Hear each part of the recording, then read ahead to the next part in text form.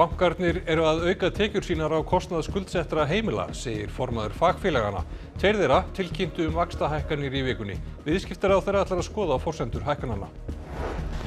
Austur Evrópa er meira á að minna um flotin vatni eftir ógnar mikla rigningar, minnst fimm eru látin í Rúmeníu.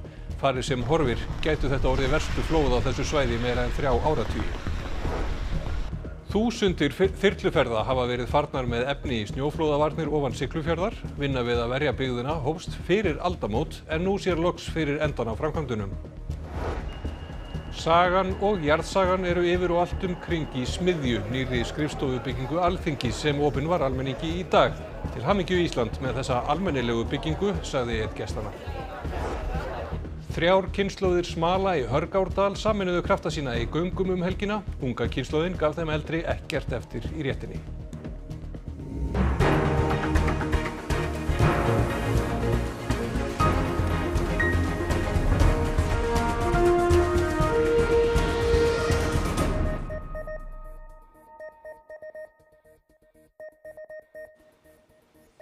Gott kvöld. Formaður fagfélagana segir skýringar bankana á vakstahækkunum ekki halda vatni. Viðskiptaráðherra gerir kröfu á bankana um að taka ekki snúning á fólkinu í baráttunni við verðbólguna. Peningastefnu nefnd Sæðlabankans ákvaði byrjun mánaðarins að halda stýrivöxtum óbreyttum í 9,25%. Það kom því mörgum á óvart þegar tveir viðskiptabankar tilkynntum hækkun verðtriðra vaksta í þessari viku. Þetta eru auðvitað vekur miklar áhyggjur hjá manni að vera að sjá að, verðtriði vextir séu að hækka núna á þessum tíðanpondi þegar allir tala um að ástandi sé svona að fara að batna. Íslandsbanki tilkynnti síðdeis í gærum hækkun vaksta og verðtriðum húsnæðislánum.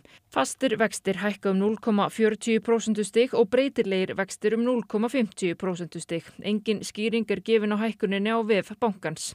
Fyrr í vikunni hækkaði Arjónbanki líka vexti og örlitið meira en Íslandsbanki. Fastir vextir hækkuð um 0,50% stig og breytilegir um 0,60%. Í tilkynningu frá Arjónbanka segir að hækkunin sem meðal annars tilkomin vegna hækkunar á ávöxtunarkröfu verð tryggðrar fjármögnunar. Mér finnst þessar skýringar bankana ekki halda vatni. Uh, maður skilur auðvitað að það þarf í starfsemi að standa í plús og vera með reksturinn í ákvæðan en ég sé ekki neitt banka í dag á Íslandi sem að uh, lepur uh, döðun og skil eða er erfiðleikum í rekstri og þarna er engöngu að mínumati vera auka á tekjur á kostnað skuldsettra heimila. Ef vaksta munurinn er að aukast svona eins og bankastjóranir er að segja þá þýðir það auðvitað að bankanir eru í einhverjum erfileikum með fjármögnun. Þegar ég hef verið að skoða ákomi bankana þá hefur mér nú sínst það hafa bara gengið mjög vel. Lilja segir ráðunetið ætla að skoða í næstu viku hverjar séu forsendur þessarar hækkunar. En ég gerir bara þá kröfu á bankana að þeir séu ekki að taka einhvern snúning á fólkinu í landinu þegar við erum öll að leggja mjög hart að okkur að ná verbulgunni niður. Stormurinn Boris hefur valdið miklu vusla í mið og austur Evrópu. Víða er allt á floti eftir að ár og lækir flættu yfir bakka sína og ástandið er einna verst í Rúmeníu. Fjórir druknuðu í Þorpi í Galati héraði í söður hluta landsins um 5.000 heimiluri fyrir tjóni þegar Dóno flættiði bakka sína. Björgunarsveitur hafði í nóg að snúast við að koma fólki til hjálpar.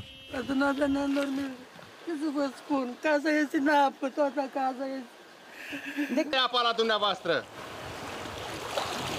Un metru aici. În casă, în casă. În casă cam 30 de centimetri. Dezastru. Dezastru. S-a distrus tot. Munca de viață. Neiðarástandi var líst yfir í Bratislava höfuborg Slovakíu. Í Tjekklandi voru um 100.000 slökkulis og björgunarsveitamenn að störfum. Rýma var sjúkrahús í borginni Brno snemma í morgun. E, během chvilky, což jsem se bavil tady s místníma nebo něco, během deseti minut e, prostě šla hladina nahoru o, nevím, o 20 cm. Fyrir rúmum aldarfjórðungi létust meir en 100 í flóðum í Tjekklandi. 38 flóðaviðvarinir voru gefnar út í landinu í dag. Sledujeme to každou minutu, bohužel vidíte sami, jaký je déšť, takže v tuto chvíli se prognózy nejeví jako pozitivní. Připravujeme se stále na to nejhorší, co teprve přijít má. Stormurinn Boris hefur einnig valdið miklum skemmtum í Östuríki en björgunamenn þar sjá samt ljósið í myrkrinu. Ja, ziemlich anstrengend. Äh, jeder ist nass natürlich von bis unten. Wir haben zwar Möglichkeiten zum Trocknen, aber durch das, dass wir viel unterwegs sind, kommen wir nicht oft heim. Aber die Bevölkerung ist, unterstützt uns da gut mit Jausen, mit Tee. Also da haben wir wenigstens gut versorgt. Úkrænumenn þurfa að býða lengur eftir heimild NATO-þjóða til að fá að nota langdræg vopn þeirra til, að, til árása á rússa. Þetta var niðurstaða fundar Joe Bidens bandaríkjaforsetta og Keir Starmers fórsettisáður að breyta í gerkvöld. Rússar hafa skotið eldflögum á orkumannvirki, sjúkrahús og fjölbýlishús frá skotpöllum langt frá virkstöðunum og Volodymyr Selenski, Úkrænufórsetti, hefur sagt að hann þurfi eldflögar til að koma í vekk fyrir slíkar árásir. Pútín Rúslandsfórsetti segir að slíkt jefngildir stríðsyfirlýsingur NATO gegn Rúslandi. This was a really important invitation from the President to have this level of discussion about those critical issues. But with President Putin threatening war with NATO, aren't you creating the impression that he's intimidating you?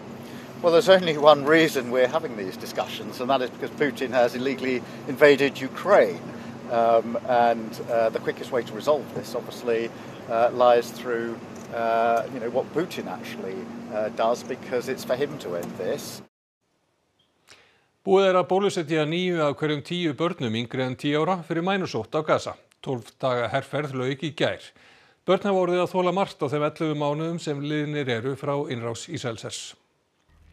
Nýju klukkustundar mannúarhlið var gert á þeim stöðum þar sem börnin voru bólusett. Vegna þess mikla fjölda sem er á flótta frá heimilum sínum varð heilbriðistars fólk að leita börnum í tjaldbúðum og víðar. Tæplega 560.000 feiku bólusetningu en áfram verður leitað að þeim sem ekki fundust. وان شاء الله بنتمنى يكون الكل يعني وصلوا التطعيم والكل يعني الطعم يعني Fyrir tæpu mánuði voru átján drefnir í loftárásum á bæinn Saviata á miðri Gazaströndinni. Nú hafast margir við í tjöldum utan við bæinn. حاليا أنا لما بدي أعمل تقييم لأطفال المخيم بدي أطلع من بين كل عشر أطفال بدي أطلع ست أطفال عندهم تأتأة خصوصي موضوع التأتأة. التأتأة هي أكثر حاجة زادت. فمن ستة, ستة من عشرة لكل طفل. حاليا الأطفال الموجودين هان داخل المخيم أكثر من 50 طفل. في حتى أطفال ثانية من مخيمات ثانية حابين يجوا على المبادرة بس أنا عشان ثلاث أيام بعاطي فحابة إني أعطي ثلاث أيام ثانية لأطفال مخيمات الأخرى. Hún segir að flestir foreldra séu ómeðvitaður um sálræn áhrif stríðsins. Fljótlega eftir innrásina tók Amal Avad eftir að dóttir hennar var hægt að geta borið frá nöfn og tímabili hægt að tala vegna hraðslu. Hún segir að eftir að hún komst undir verndarvenga mínu hafi stúlkan tekið miklum framförum. Frans Pái gaggrindi í gerð bæði stjórnvöldi Ísrael og Hamas fyrir að komast ekki að samkómulagi til að stöðva hörmugarnar. Quando si vedono i corpi di bambini uccisi, quando si vedono che per presunzione che ci siano lì qualcuni dei guerriglieri, quando si vedono si bombardamento una scuola. È brutto questo, è brutto, è brutto. Sniðgangan, svo kallaða, var farin á höfuborgarsvæðinu og á Akureyri í dag. Sunnan heiða var lagt í hann frá Hafnafjörði og haldið allarleið til Reykjavíkur. Með gungunni er kvart til þess að vörur frá Ísrael séu sniðgengnar vegna framgöngu Ísraels hers á Gaza. Í tilkynningu frá skipulegjendum segir að sé, að sniðganga sé áhrifamikil og friðsamleg leið til að sína palestinsku þjóðinni samstöðu.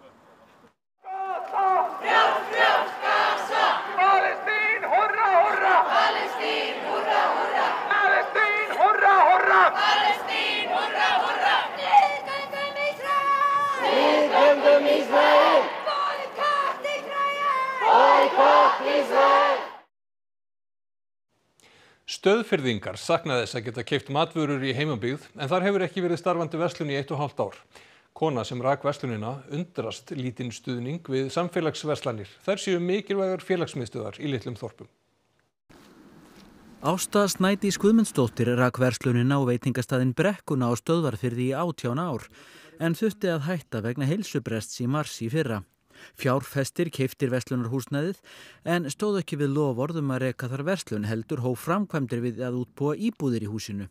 Ásta segir að þó að krónan á reyðarfyrði bjóði heimsendingar sé verslunarmissirinn slæmur fyrir staðinn.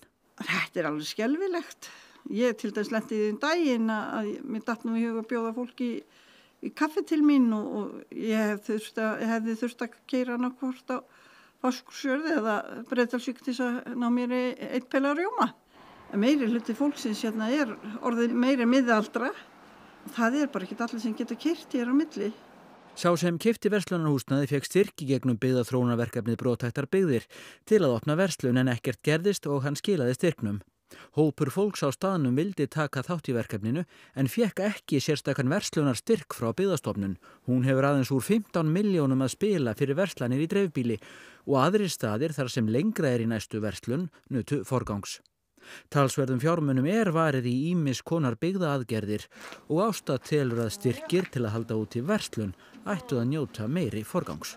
Svona verslun, svona lítil samfélagsverslun eins og ég segi, hún skiptir öllu því að þó svo fólk sé duglegt að hittast að þá er bara, þú veist, bara þetta geta farið út í búð, bóðið góðan daginn og hitt fólk sem þú hittir kannski ekki annars.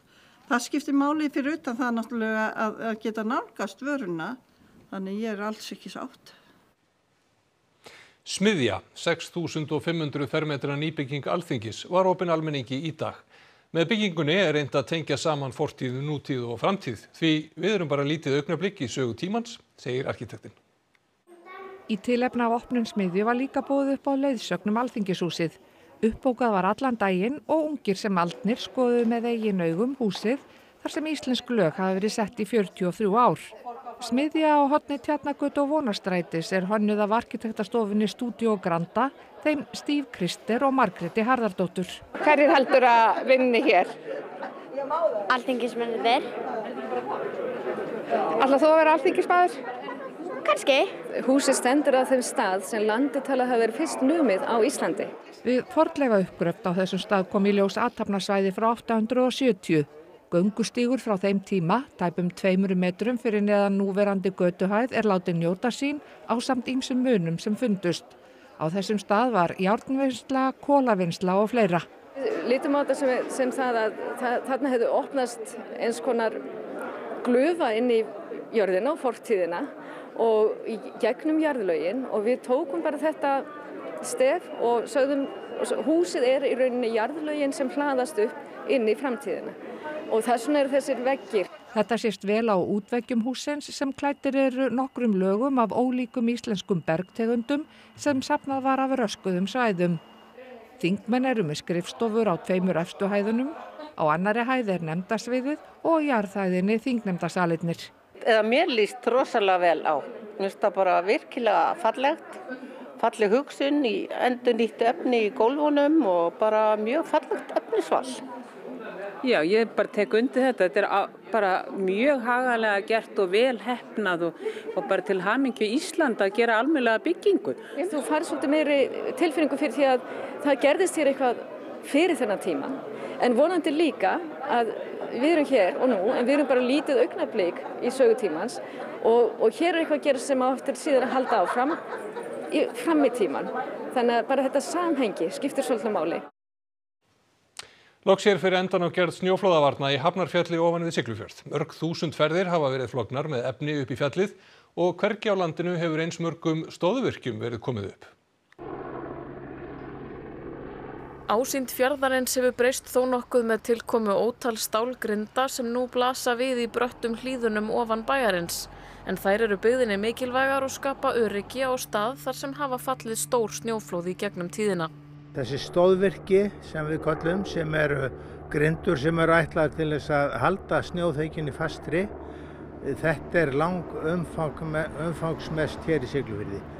Þessar grindur virðast ekkert svo opaslega stórar ef maður horfir á þetta hérna lengst upp í fjalli en eins og þið sjáu þá er þetta engin smá stykki þessi biti hérna, hann getur orðið alltaf 5 metra langur og þetta er svo þungt að það er ekkert að setja þetta fullu leiti saman fyrir að þetta er komið upp í fjall. Og það er greinilegt að hvert handtak er að verða þaula eftir hjá þeim sem að verkinu koma en það margir unnið að því til fjölda ára.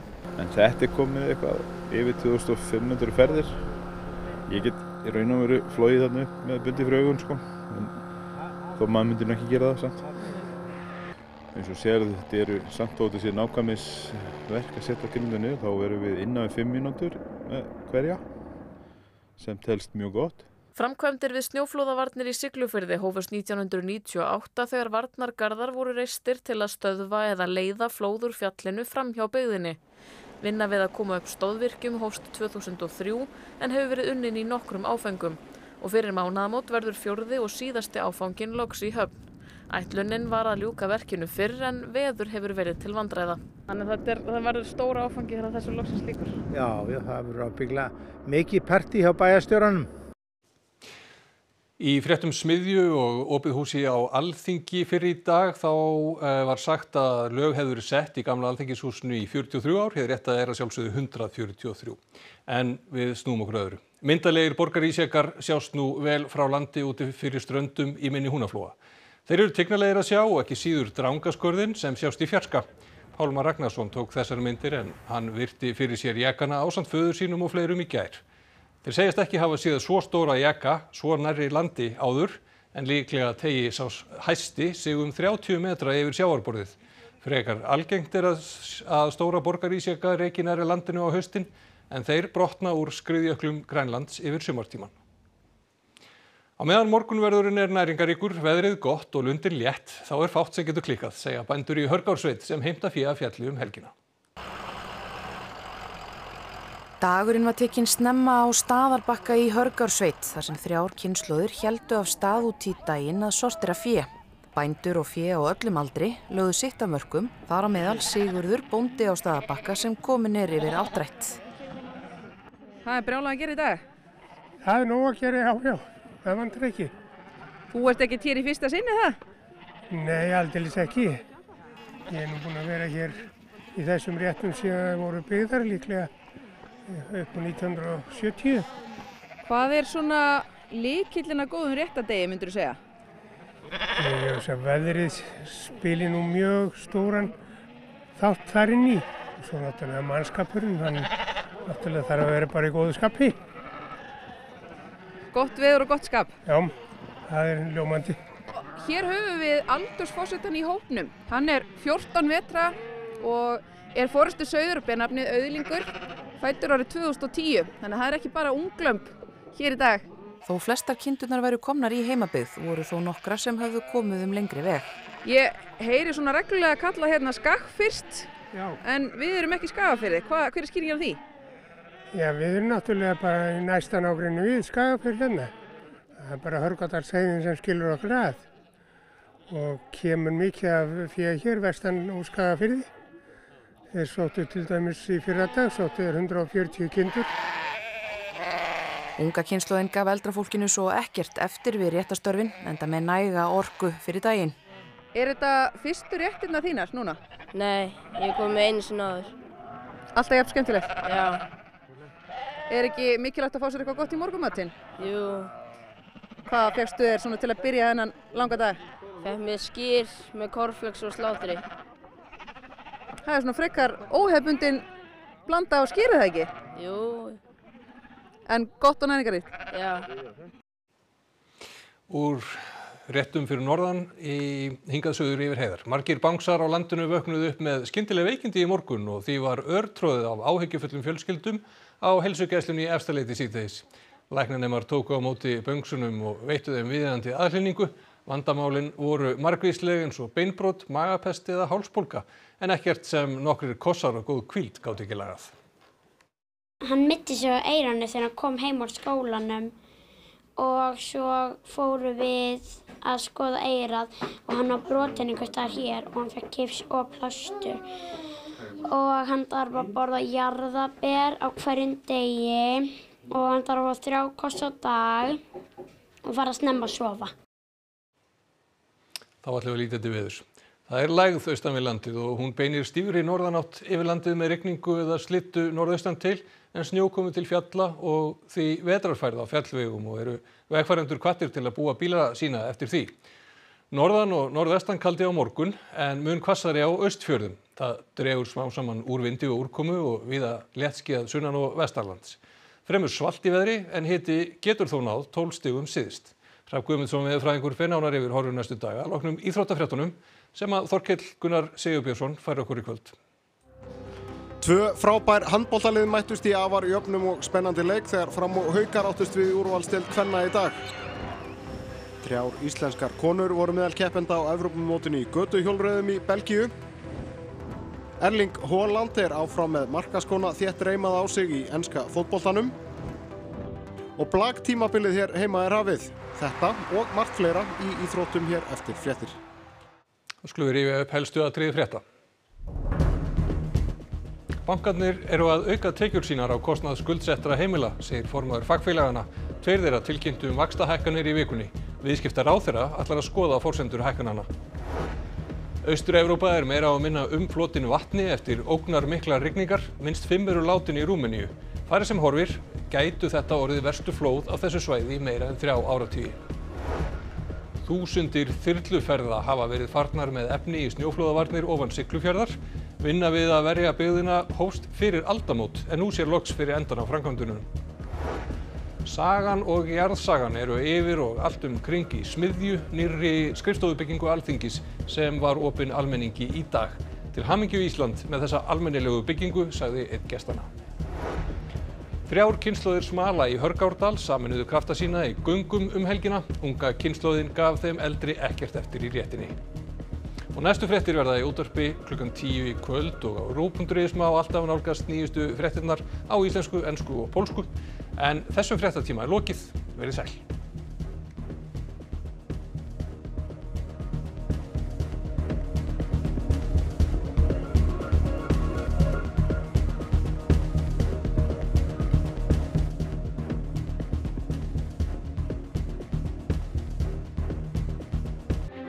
RÚF í kvöld. Hattie Feather, sjónvastáttaröð fyrir alla fjölskylduna sem gerist í Lundunum á Viktoríutímanum.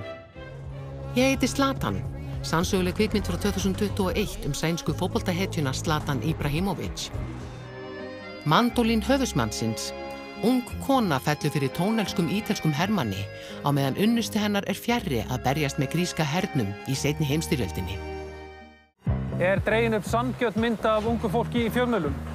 Og hvernig samfélag höfum við skapað þeim sem brátt munu taka við. Og torkinu á þriðu dag ætlum við ekki að tala um ungt fólk heldur við það. Hvað segja þau um Íslands samfélag? Andlega líðan, ofbeldi og áskorunir sem þau glíma við. Torkið, umræðið þáttur í beinni útsendingu þar sem fólkið í landinu varpar fram spurningum og stendur fyrir máli sínu. Fylgist með og takið þátt í samtalinu. Sendu okkur spurningar og skoðanir á torkið.rúf.is eða hvað sem þið finnir rúf á samfélagsmiðlum. Torkið, þriðu dag á rúf.